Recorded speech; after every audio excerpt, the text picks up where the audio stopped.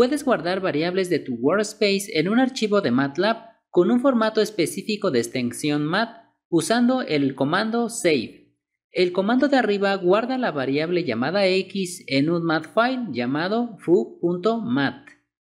En esta actividad nos piden guardar la variable del workspace llamada data en un archivo llamado datafile.mat.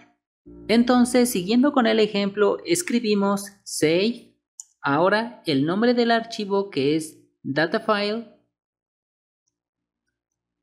y ahora el nombre de la variable que es data y presionamos la tecla enter. Puedes cargar variables desde un file usando el comando load en esta actividad nos piden cargar las variables desde el archivo datafile.mat. Entonces para esto escribimos load y ahora colocamos el nombre del archivo que es datafile y presionamos la tecla enter.